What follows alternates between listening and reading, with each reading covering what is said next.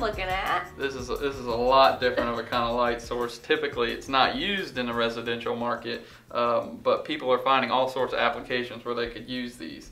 Uh, there, these are some waterproof strips here, uh, which can change colors. As you see, you can go uh, to a different color. Uh, you can make it fade. You can make it go in and out of colors.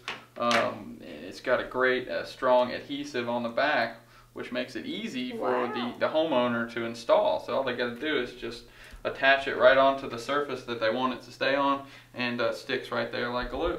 So it's great for anything under counter, any low profile. I could put it in your aquarium, uh, pool, outdoor patio. So it's great for any application. Uh, you just want to make sure though that you don't put the power supply in, in any sort of uh, water Okay. area.